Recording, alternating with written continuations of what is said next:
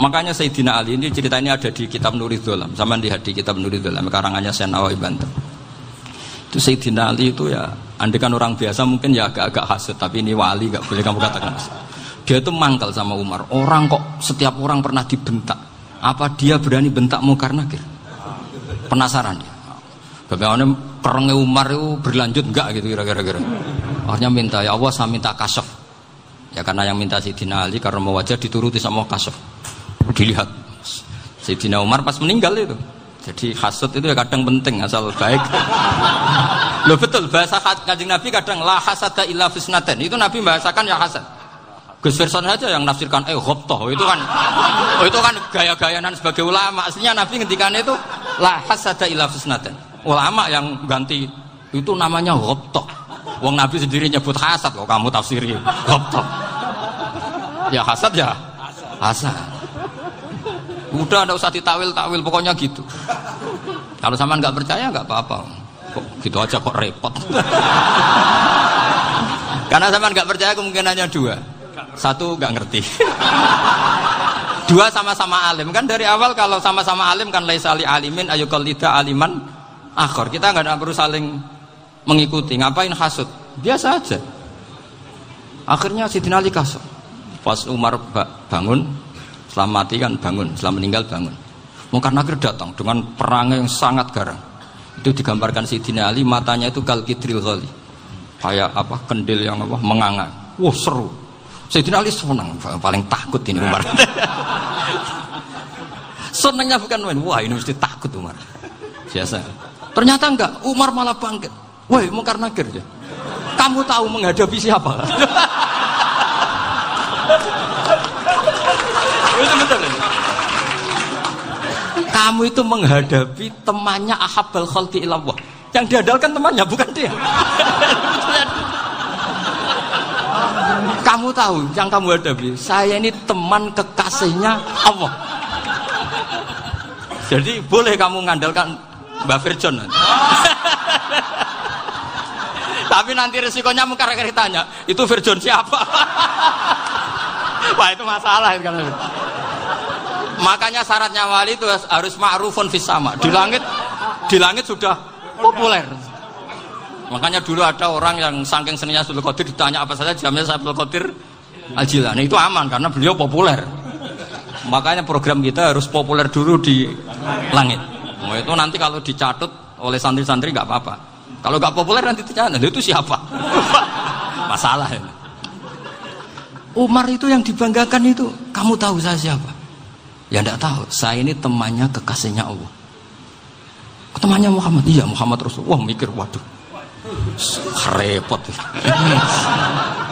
Loh di dunia aja gitu kan temannya presiden, temannya panglima, apalagi ini temannya Sayyidul Awalin wal akhirin. Di dunia aja bilang temannya presiden, menteri orang sudah takut, apalagi ini temannya Sayyidul Awalin.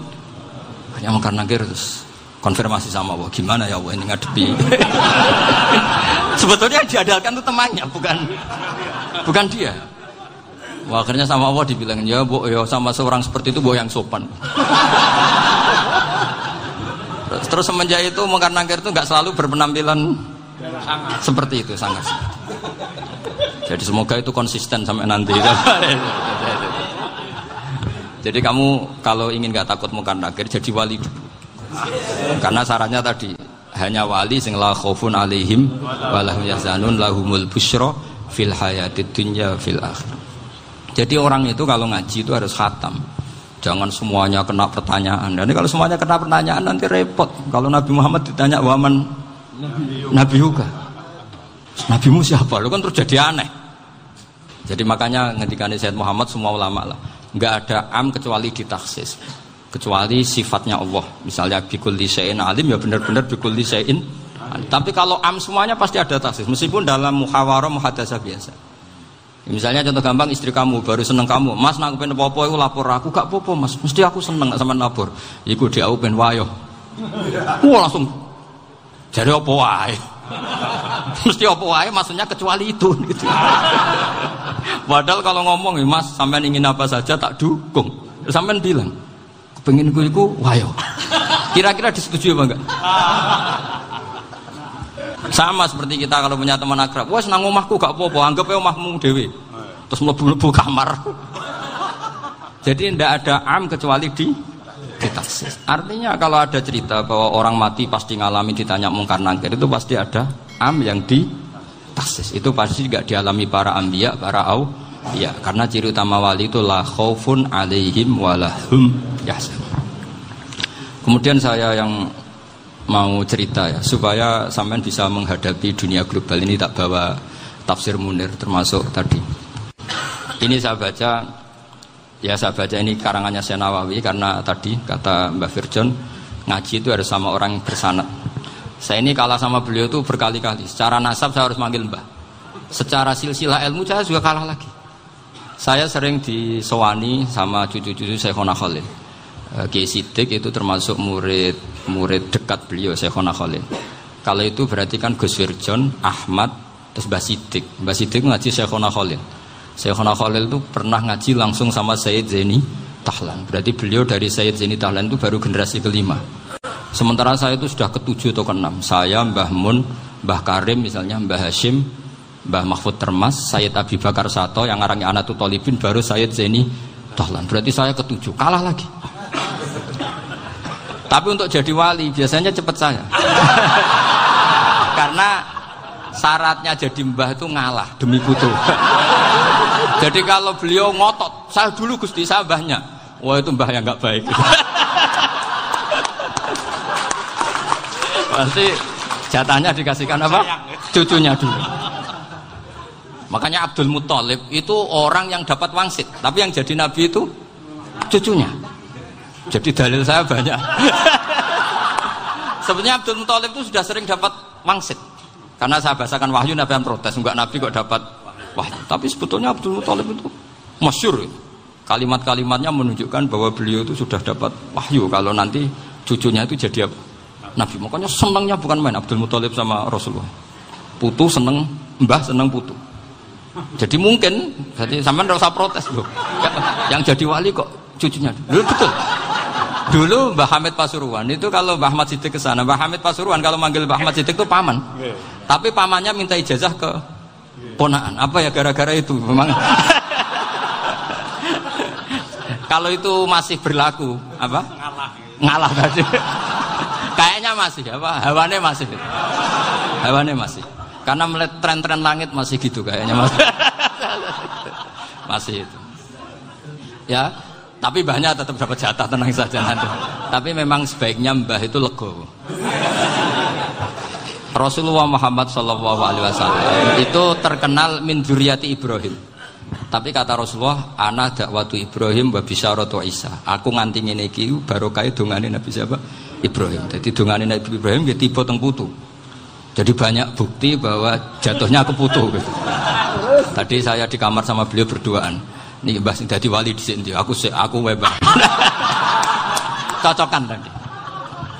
Nah kenapa saya akhir-akhir ini gulirkan daftar wali? Kenapa? Saya ini resah ya, orang sudah ingin dicintai pejabat, dicintai tetangga, dicintai teman. Tapi kadang-kadang orang lupa lagi dicintai apa? Makanya saya meskipun guyon, tapi ini amdan, bukan sahwan. Supaya orang punya cita-cita lagi jadi wali, ingin dicintai Allah. Kita ini terlalu lama ingin dicintai makhluk, dicintai makhluk. Bu Yau naik kelas sedikit. Ingin dicintai Allah Subhanahu Meskipun saya guyon, tapi tadi guyon saya tuh lebih serius ketimbang serius Anda. Karena tak pikir. Saya tuh kalau pergi itu seneng ngebis, bukan karena saya tidak punya mobil, tapi saya sering mau butuh itu supaya gak diganggu. Karena saya tuh harus punya waktu sendiri. Kalau bis kan ketemu orang nggak kenal, tapi sekarang ya gak susah banyak yang kenal. Dan susahnya lagi gak minta ijazah, minta foto. Aduh. tuh. Mau mau dibenci itu umatnya Rasulullah Shallallahu Alaihi Wasallam mau disetujui itu sanatnya mana kalau ketemu orang alim minta apa foto itu nggak ada sanatnya nggak tahu saya itu madhab dari mana itu ya madhab milenial yang jelas itu kan ini tak baca ya biar dapat. Karena ini kenangan saya sama Mbak Ahmad Siddiq. Saya masih ingat betul beliau ngisi hallnya Mbak Abdullah bin Umar berarti abahnya Mbak Hamid. Karena mbak saya itu Fatimah binti Khalid bin Umar. Kalau Mbak Hamid itu Hamid bin Abdullah bin Umar. Itu saya masih ingat betul zaman itu Mbah Hamid siap call di Lasem itu rawuh dan saya derek nembah saya. Karena masih misanan datang ke Lasem. Itu beliau pas itu ngisi sama Mbah Mun. Mbah Mun masih muda Ki Ahmad Siddiq sepuh senior itu beliau cerita bahwa dulu ketika Indonesia dijajah Jepang itu para kiai mimpi dibacakan ayat khulifatir rum fi adnal ardi wa hum mim. Terus ada kiai yang tanya, takwilannya gimana? Ya nanti Jepang pulang bukan karena kita yang mengalahkan, tapi Jepang ada yang mengalahkan sendiri, meskipun tidak kita. Kayak dulu Faris tidak dikalahkan Islam, tapi dikalahkan Romawi, tapi yang senang umat Islam. Wa yawma idhi yafrahul mu'min. Itu luar biasa ulama-ulama kita. Delalah kejadiannya Indonesia seperti itu. Yaitu kita tidak mengalahkan Jepang, tapi Jepang pulang, pulang sendiri karena dikalahkan apa? Sekutu. Ya ini saya baca. Ini tidak usah dicek bacanya bener apa enggak. Sudah, sudah sudah aman apa aman. Karena kalau saya salah itu ya sengaja. Artinya ya sengaja Ya biasa maksudnya. Saya kemarin ngisi di Pondok Peloso di Pondok Al Munawir Jogja. Salah itu ada dua. Ada salah memang benar-benar salah. Itu nggak apa-apa bisa dimakfu. Karena harus mesti sangke wong goblok salah yang terus itu ada salah bawaan ilmu itu repot tuh dan ini karena misalnya kita yang biasa belajar kiro asap wayah sibuhu mesti diulang lagi wayah sabuhu karena kiroahnya Imam Asim itu hasibah sabu bifat hisin sementara kita kalau ngaji kitab kulino sibu sehingga kita-kita yang biasa belajar sabah itu kalau baca kitab itu kayak orang bingung kadang-kadang yang ngaji juga bingung Gus Pak mau bulan pilih ya tepat-tepatan ada yang mengatakan Gus Pak bingung ada yang mengatakan Gus Alim alam ya tepat-tepat nasib. Karena memang ya sabah memang seperti itu. Misalnya kufuan, kufuan itu Imam Asim baca kufuan. Tapi beliau punya murid namanya Syubah. Itu kalau baca kufan. Makanya kita itu ini kan khataman Quran ya. Jadi saya menyinggung sedikit tentang kiro asabah. Tadi beliau juga sudah tak kasih kitab saya Khifduna dan Musaf. Sama tak ajari latihan sabah. Memang angel ya. Makanya yang nggak bisa itu wong pinter. Sudah tahu angel ya nggak usah diteruskan kan. Orang menghindari barang angel itu pinter apa goblok? Pinter. Berarti wong goblok pinter. Saya tuh makanya sama orang goblok tuh respect. Jadi orang alim tuh angel apa gampang? Angel. Menghindari barang angel pinter apa goblok? Loh, orang menghindari barang angel pinter apa goblok? Pinter. Berarti wong goblok pinter. Jadi saya sama orang-orang goblok itu respect. Sudah tahu jadi orang alim angel ya barang angel ya harus dihindari. Makanya saya ini insya Allah umatnya Nabi yang termasuk yang terbaik. Amin. Karena mencintai umatnya Nabi termasuk yang goblok. Waduh. Itu tidak gampang itu. Karena tadi sudah tahu ya. Seperti itu loh orang naik panjat pinang itu. Yang naik karena ingin hadiah. Yang nonton sudah tahu wah licin kok dinaikin mau keplodok. Ya. Tapi orang sepakat yang nonton juga pinter karena sudah tahu ribet kok. Tukun yang pasar kena lah mana. sama sama juga gitu. Ngalim tafsir angel, ngalim fikih angel. Ada karek ngaji ngerekam kan gampang. Itu pinter apa goblok? Pinter. Iya. Makanya mbok burohno ngono tok. Saya tadi dinasihati Mbak Virjon, muga-muga hati saya selamat. Saya itu meskipun kata orang banyak, muhibin saya banyak tapi saya insya Allah tidak riak saya itu pakai kitab namanya Tasbidul Fuad karangannya Said Abdul Haddad ketika beliau punya muhibin banyak ditanya bagaimana ya Habib anda menjaga hati anda jamnya Said Abdul Haddad itu unik innama azomu Allah mereka itu sebenarnya menghormati Allah cuma butuh sarana dan itu saya jadi saya tahu sama semua itu mencintai Quran mencintai sunnah Rasul mencintai hadis-hadis Rasul cuma sampean kan karena nggak paham terus manfaatkan saya jadi sebenarnya saya ini korban. korban. Jadi saya mau riak gimana? Korban kok mau. Bangganya di mana tuh? Coba sampean misalnya ngaji tafsir, belajar sendiri kan susah. Terkitnya susah, maknanya susah, bahkan beli kitabnya kadang tidak kuat. Loh, untuk untuk jadi alim tafsir itu kan harus beli kitab. Loh, saya sering belajar kitab itu jutaan. Tafsir Tobari, saya pernah beli kitab Fakhrul Razi itu berapa coba? 27 jilid karangannya Fakhrur belum karangannya ulama modern Imam Sa'rawi itu berapa jilid itu jutaan saya kemarin juga dihadiahi kitab Pak Quraish namanya Faidul Bari fi Bukhari Pak Quraish Shihab yang terkenal Ya sering diskusi sama saya. Saya ngasih hadiah beliau, beliau ngasih hadiah saya. Oh itu harganya nggak kuat. Tidak kuat kadang di Indonesia nggak ada coba. Dan sama orang hebat menghindari kesulitan itu. Nah, kesulitan itu, segesbak ngaji ikut, kalau nggak paham, dirukok nah rekamannya sudah gitu. Pinter mana sampai nama saya? Pinter sampean kan? Bikin sosis susah, beli aja kok repot kan? Makanya nggak boleh orang bilang, wah aku goblok reso tafsir, aku wong pinter. Makanya nanti kalau saya ketemu Nabi tidak termasuk orang yang mentahkir orang Islam. Kafa bil apa kafa bil mari isman ayah kira akhahul muslim. Jadi cukup orang itu dosa kalau menyepelekan orang Islam. Termasuk darani sampean goblok itu dosa. Caranya nggak darani goblok ya tadi di logika tadi. Alim itu angel. Gendari angel itu pinter. Berarti wong bodoh. Pinter ya sudah gitu. Tapi tetap bodoh. Tapi ini satu cara untuk saya respect gitu. Coba orang yang ngaji tafsir saya banyak, mungkin ribuan. Itu sebetulnya mencintai Quran. Karena Quran adalah kitab suci yang panduannya umat Islam. Sangat mencintai Quran. Terus kemudian mereka nggak paham. Terus mencari orang yang memahamkan. Burono lah cara Jawa ini. Terus keren saya itu di mana coba? Lah terus mereka kurang ajarnya gini, kalau paham itu yang alhamdulillah paham. Wah nak ngaji Gus Bae ngono tok. Tapi nak orang paham, orang jalan akal ya. Mari Gus Bae orang cepet mulane gak paham. Orang kok nyalano teke sing lelet tuh. Oh kan Masya Allah, naudzubillah nanti. Sebetulnya tingkat kurang ajarnya tinggi Gus. Jadi kalau nggak paham itu kadang nggak nyalah no uteke. Kayak mau misalnya, mau mari mikir aja jelas. Padahal misalnya jelas orang mesti paham, bodoh. Paham? Ya? Jadi kata Syed Abdul Haddad, innama azzamu Allah. Sebenarnya mereka itu sangat menghormati Allah. Makanya kita nggak perlu mengatakan wasilah itu kafir, nggak akan. Karena orang tawasul sama Rasulullah itu ingin dapat ridhonya Allah lewat orang yang dicintai Allah. Kita mencintai wali sebenarnya wah itu kekasih Allah. Kita mencintai itu karena mencintai Allah. Sama seperti gini. Kamu mencintai kangkung apa enggak? Sebenarnya sama sekali enggak. Tapi kamu ingin sehat, ada asupan gizi. Kamu ingin tubuh kamu sehat, butuh asupan gizi. Kemudian kamu makan kangkung. Apa terus kamu cinta kangkung kan enggak? Cinta kesehatan kamu sendiri sama, orang yang mencintai saya ingin kepuasan rohani. Saya akan termasuk kiai yang torekonya gampang. Ini suwargo, ini suwargo. Kan peng akhirnya penggemarnya banyak. Coba kalau kamu ini rokok, rokok. Jadi sebetulnya Anda mencintai kepuasan Anda sendiri. Nah, saya ini korban. Makanya untuk masuk surga cepat saya, korban itu cepat. Dakwatul mazlum la turaddu kan gitu. Laisa bainahu wa bainallah hijab. Jadi saya kalau dongo langsung seret langit. Karena mazlum. Saya sinau tafsir itu Pak, sampean bayangkan ada tafsir itu sudah 27 jilid. Sengarang Fakhrul Razi itu bulatnya bukan main. Karena dia ahli fil safat. Oh, bulatnya Masya Allah.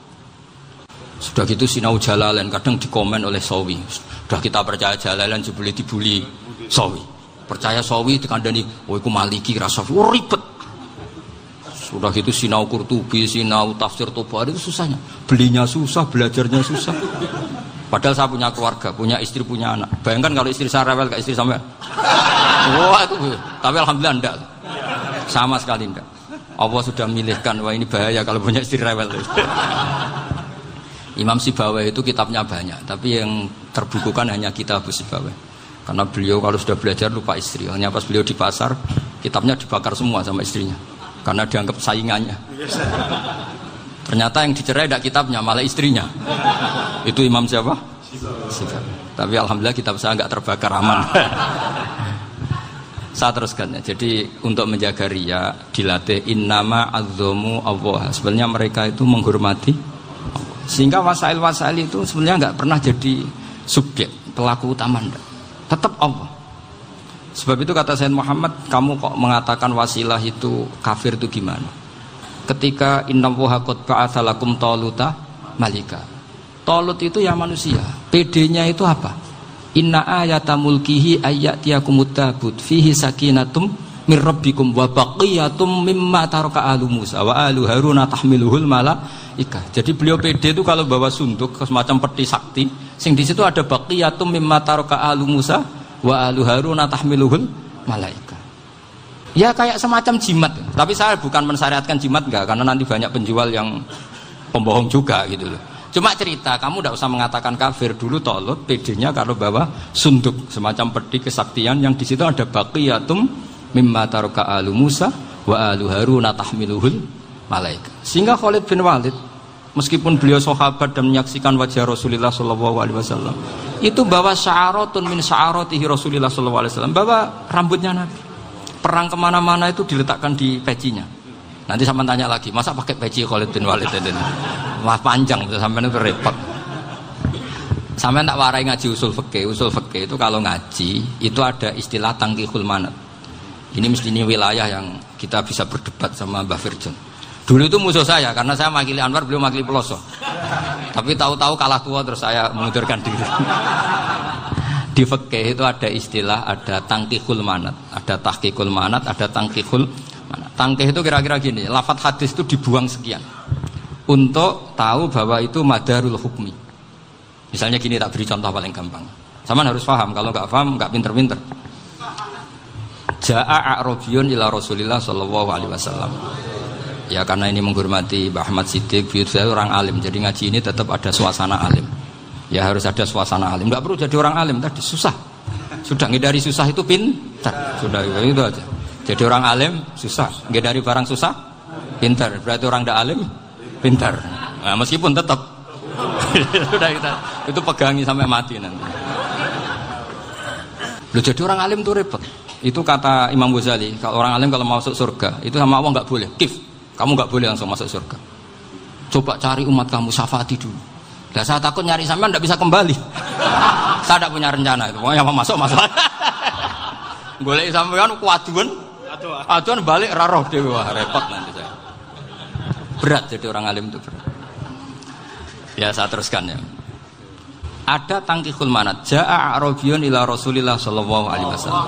Faqala ahlaktu wa ma ahlaka qal waqatu imraati fi nahari Ramadan. Ya sidang kita, saya ini rusak ya Rasulullah. Kenapa? Karena saya menjima istri saya fina hari Ramadan. kata Nabi, kamu harus bayar kafaroh. Kenapa Nabi kafaroh? Puasa dua bulan. Wong baru satu hari aja terjadi gitu kok disuruh puasa dua bulan. Ya tidak kuat ya Rasulullah. Baru berapa hari saya puasa aja kecelakaan seperti itu. Apalagi kalau sampai dua bulan. Tidak, tidak ya Rasulullah.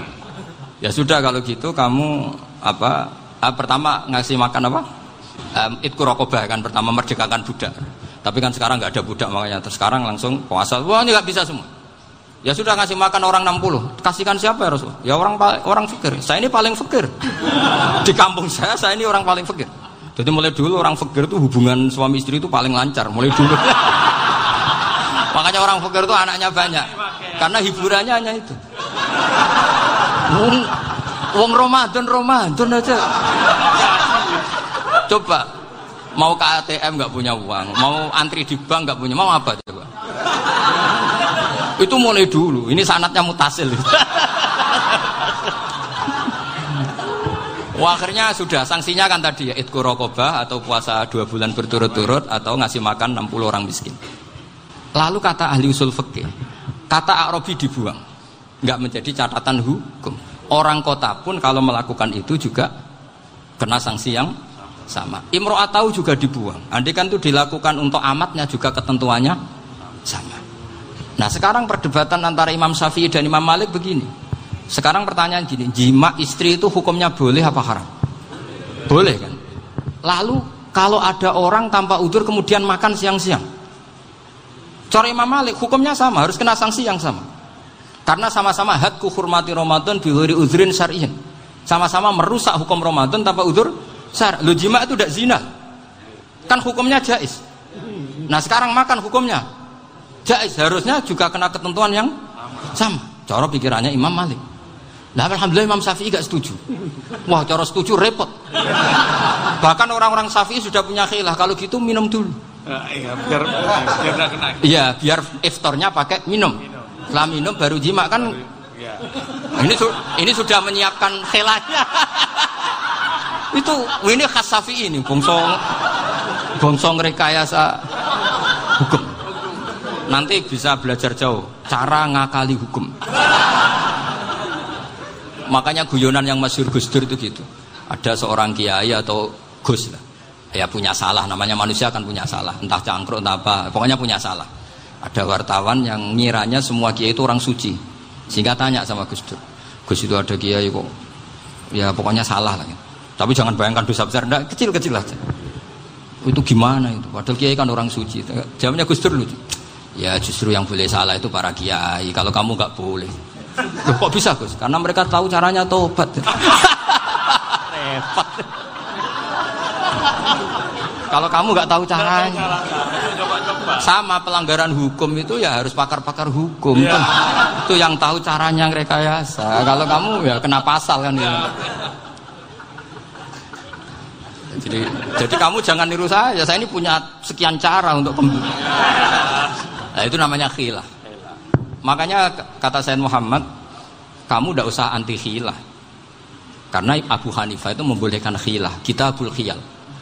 Yang penting kamu soleh dulu. Setelah soleh nanti Allah maklumi. Soleh dulu, syaratnya soleh dulu. Kalau tidak soleh jangan. Contohnya gini, ada orang mau puasa lemes sekali, mau makan. Gampang. Kalau langsung makan kan kayak hadku hormati Ramadan biwaru udrin sarian. Aku langsung ah mau jembera sewan Mbah Firjon. Sudah status saya apa? Musafir. Nah, sudah berangkat aja sampai Tuban makan. Nanti kalau nggak jadi ya nggak apa-apa sudah. Kan mulai pergi sudah. Sudah musafir. Saya tidak tahu nanti malaikat tertarik gebuki gak gak tahu. Tapi itu ada khilahnya asal soleh. Karena kata Sayyid Muhammad dan semua kitab mengatakan itu kalau sama nggak tahu ya kebablasan. Nabi Ayub yang Nabi yang terkenal Gudikan itu siapa? Ayub ya? Itu yang Israeliatnya akan seru lah gudikan dikukur baik kreweng itu terlalu lah kalau itu. Untuk, untuk kreweng konti ning Arab ora kreweng itu sudah sudah masalah itu. Singkat cerita Nabi Ayub ketika diasingkan kaumnya itu kan nggak punya sumber makanan. Lah orang lelaki itu mulai dulu egois. Istrinya Nabi Ayub itu cantik sekali. Udah cantik rambutnya bagus. Makanya kamu nggak usah tanya kenapa istrinya kayak banyak yang cantik? Ya nah satu lambia nggak boleh gitu kalau nggak cantik ya ya satu lambia dari segi balak Istrinya Nabi itu semuanya cantik. Gak usah tanya sebabnya apa, pokoknya gitu, semuanya cantik. Singkat cerita, beberapa kali istrinya Nabi Ayub itu kerja demi bisa nafkahi Nabi siapa? Suatu saat itu tidak ada pekerjaan yang cukup untuk beli roti. Satu-satunya peluang dapat rezeki itu putrinya raja itu rambutnya berondoli. Terus ada sayembara siapa yang rambutnya bagus mau dibeli. Sampai rambutnya sitinya apa istrinya Nabi Ayub itu dijual. Nabi Ayub tersinggung karena itu mengurangi kecantikan. Jadi lelaki mulai dulu gitu. Udah nggak urun kalau istrinya nggak cantik itu komplain. Itu khasnya lelaki. Jadi kalau kamu gitu ada sanatnya juga tenang saja ya. Komplain ya pegawai itu.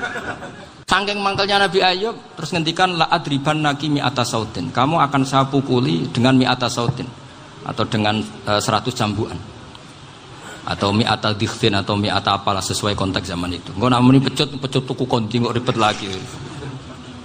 Singkat cerita, akhirnya ketahuan bahwa istrinya menjual itu demi Nabi Ayub. Allah nggak ridho kalau kekasihnya yaitu istrinya Nabi Ayub wis perjuangan kayak gitu malah kena hukuman. Tapi Allah juga nggak ingin kekasihnya yang bernama Ayub melanggar sumpah. Padahal beliau sudah sumpah wallahi demi Allah nanti tak pukul dengan seratus kali. seratus kali dengan lidi lah misalnya contoh yang gampang tuh lidi. Akhirnya sama Allah dikasih satu solusi wahud biadika dikhtan fadrib bihi wala tahnas ya sudah lidi itu ikat jumlahnya 100 terus pukul sekali saja anggap saja sudah 100 Iku pangeran sing wari ngakali ngono iku pangeran. Tapi syaratnya soleh. Syaratnya soleh. Jadi kalau kamu anti khilaf berarti anti ajarannya Allah di ayat itu. Wahud biadika dikhtan fadrib bihi walaka. Itu dulu ada, ini cerita di Ithaf. Ini cerita terakhir, ini sudah, sama jangan nama sudah. Sudah. Terus pengumuman tadi, yang nggak pernah sepuh ngutang saya itu haram. Tadi. Karena tadi saya punya kewajiban di rumah yang bisa menggugurkan ya kewajiban yang lebih besar. Lebih besar itu ya tadi, bisa pernah guru, pernah sepuh. Yang jelas gak umur. Umur sampean menangkap itu. Tua-tua serepot itu. Ada raja itu ganteng kaya, senengannya nikah perawan cantik. Oh, itu semua kampung mesti kenal mungkin digilir atau gimana pokoknya suatu saat ada pemuda suka sama perempuan yang di kampungnya cantik sekali kemudian pemuda ini ternyata pekerja di kerajaan itu Tiap hari ditanya. Oh itu yang di kamu yang cantik siapa? Mau saya nikahin gini. Wah bahaya ini saingannya raja. Jadi yang dibidik pemuda tadi itu saingannya. Si raja ini orang yang namanya raja kan gengsinya tinggi. Kaifatang kihuha wa kotroa itu kot kobbalaha rojulun. Kobok nekabi. Saya itu pernah melihat dicium lelaki. Wah, wah gak mau. Gak gelem kadung ditambung lan wakot kobbalaha rojulun. Saya pernah melihat sendiri kobbalaha rojulun. Dicium oleh lelaki. Wos, wah sudah gak minat raja langsung wos. Gak, gak keren. Suatu saat pemuda tadi nikahi perempuan itu. Oh rajanya marah-marah. Kamu lelaki gak punya harga diri gini gini gini. Wos gak punya selera, gak punya harga diri. Sudah pernah dicium orang kok tetap dinikah. Bilang ke raja, Ta'rifu man, ta'rif man, manir rojul. Lelaki itu siapa? Abuha. Kamu tahu lelaki itu siapa? Sopo? Abuha. Bapaknya. Saya kan hanya bilang rojulun. Pernah dicium lelaki. Lah pikirannya raja itu lelaki ya kue-kue ngene iki. Tapi butuh canom mau rojo ben gak sido itu aja tuh. Baru digulirkan gitu wakot kebalah rojulun. Wah nggak mau. Setelah itu satu saat pegawainya tadi kayak perempuan. Uh, kamu gak punya harga diri gini gini gini. Kamu tahu mandir rojul apa abu? Wah nak ngono aku gak poho Lah monggo saat ini bojo kula. Ora trimo wis diambung wis macam-macam. Lah itu namanya khilah. Apa? Khilah. Kalau di Balawa disebut tauriyah atau apa. Tapi saya tidak ngajari sampean seperti itu. Sudah pinter sebelum saya ajarin. Bongso ngakali kan sudah pinter. Saya kira demikian. Assalamualaikum.